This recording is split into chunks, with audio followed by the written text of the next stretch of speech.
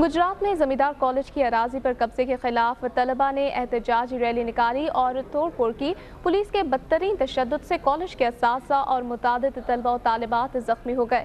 ذرائع کے مطابق کچھ سال پہلے پنجاب حکومت نے کالج کے ساتھ واقع اراضی کالج میں توسیع کے لیے اسے لوٹ کر دی تھی، جس پر چند روز پہلے نامعلوم افراد نے قبضہ کر کے اس پر مسلح افراد بٹھا دیے۔ آج کالج کے طلبہ و طالبات نے اس قبضے کے خلاف احتجاجی مظاہرہ کیا اور ریلی نکالی۔ طلبہ و طالبات کی ایک بہت بڑی تعداد نے پولیس اور قبضہ گروپ کے خلاف نعرے بازی کی۔ پولیس نے طلبہ کو منتشر کرنے کے لیے شدید لاٹھی چارج کیا، آنسو گیس پھینکی اور ہوائی فائرنگ بھی کی۔ پولیس کالج کے اندر گھس گئی اور طلبہ و طالبات کو بدترین تشدد کا نشانہ گیا۔ زخمی اساتذہ اور طالبات کو طبی امداد کے لیے عزیز بھٹی شہید اسپتال منتقل کر دیا گیا۔ ریلی میں شریک طلبہ نے الزام عائد کیا ہے کہ وہ پرامن طور پر اپنا احتجاج ریکارڈ کرانا چاہتے تھے، لیکن ایس ایچ او نے قبضہ گروپ کا ساتھ دیا۔ ڈی سی او گجرات کا کہنا ہے کہ اراضی کسی فرد واحد کی ملکیت نہیں، بلکہ زمیندار کالج کے نام ہے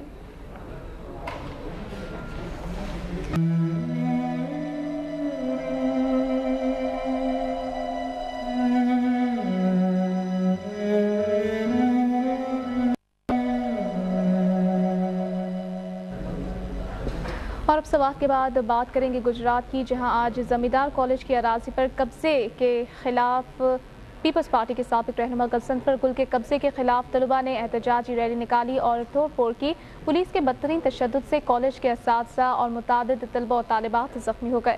ذرائع کے مطابق کچھ سال پہلے پنجاب حکومت نے کالج کے ساتھ واقع اراضی کالج میں توسیع کے لیے اسے الاٹ کر دی، جس پر قبضہ کر کے اس پر مسلح افراد بٹھا دیے گئے۔ آج کالج کے طلبہ و طالبات نے اس قبضے کے خلاف احتجاجی مظاہرہ کیا اور ریلی نکالی۔ طلبہ و طالبات کی ایک بہت بڑی تعداد نے پولیس اور قبضہ گروپ کے کے خلاف نعرے بازی کی۔ پولیس نے طلبہ کو منتشر کرنے کے لیے شدید لاٹھی چارج کیا، آنسو گیس پھینکی اور ہوائی فائرنگ بھی کی۔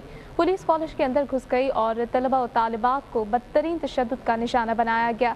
زخمی اساتذہ اور طالبات کو طبی امداد کے لیے عزیز بھٹی شہید اسپتال منتقل کر دیا گیا۔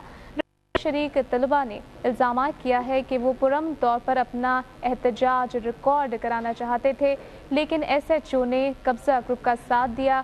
ڈی سی او گجرات کا کہنا ہے کہ اراضی کسی فرد واحد کی ملکیت نہیں، بلکہ زمیندار کالج کے نام ہے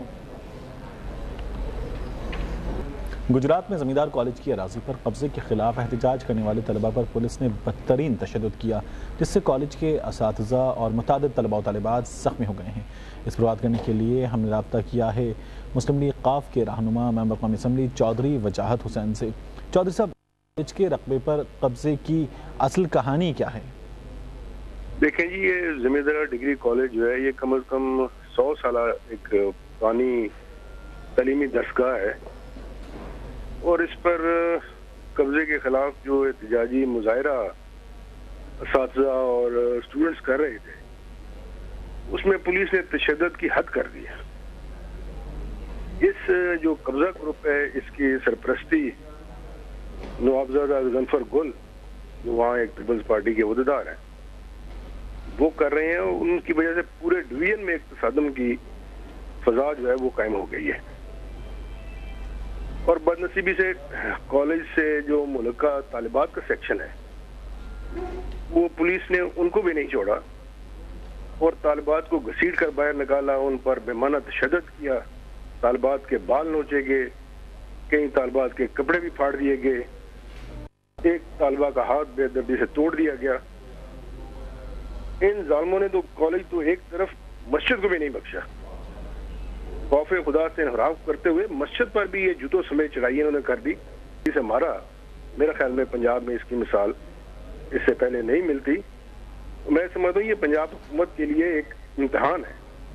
اب اب اسے اب اسے ہاؤس میں ہاؤس میں اٹھانے کا ارادہ رکھتے ہیں آپ جی ہاؤس میں ہم انشاءاللہ اس کو ہم نے آج بھی پوائنٹ آف آرڈر پہ بات کرنے کی کوشش کی ہے۔ اور آئندہ بھی جو ہے ہم اس پورے معاملے کو ہاؤس میں اس کو وہ جی غزنفر گل صاحب یہ بھی فرما رہے ہیں کہ اس میں چودھری برادران کا ہاتھ ہے اس پر آپ کیا کہیں گے؟ دیکھ قبضہ وہ کر رہا ہے ہاتھ ہمارا ہے۔ یہ ایسی بیوقوفوں والی بات ہے کہ قبضہ وہ کر رہے ہیں جگہ پہ اور ہاتھ ہمارا ہے۔ اس کو کوئی خدا کا خوف کرنا چاہیے۔ آج کہہ رہے جی کہ میرے اباؤ اجداد کی یہ زمین ہے، یہ ملک ہے۔ کل کو کوئی سر گنگا رام کا پوتا اٹھ کے آ جائے کہ یہ گنگا رام ہسپتال میرا ہے، تو آپ اس کے حوالے کر دیں گے۔ بہت شکریہ چودھری وجاہد حسین ہم سے بات کر رہے تھے اور ان کا یہ کہنا تھا کہ وہ یہ معاملہ ہاؤس میں اٹھانے کا بھی ارادہ رکھتے ہیں۔